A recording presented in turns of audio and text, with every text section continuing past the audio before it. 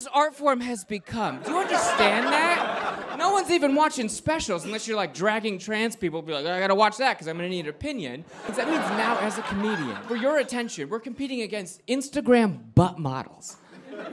An impossible task. It's like you're looking at like a picture of someone's like open birth canal, like Mykonos, take me back.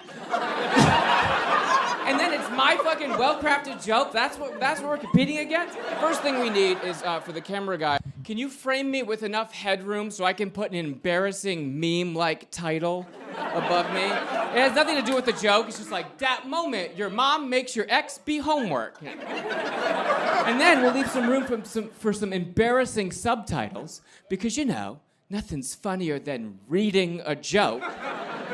I'm not laughing. What's wrong? Oh, oh, okay. Yeah, that moment that pussy slaps. Okay, I'm not.